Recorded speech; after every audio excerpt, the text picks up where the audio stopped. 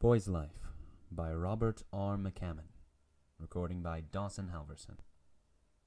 We ran like young wild furies where angels feared to tread.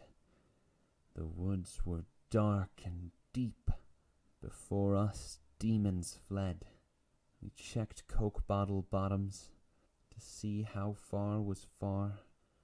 Our worlds of magic wonder were never reached by car. We loved our dogs like brothers, our bikes like rocket ships. We were going to the stars, to Mars we'd make round trips. We swung on vines like Tarzan and flashed Zorro's keen blade. We were James Bond in his Aston. We were Hercules unchained.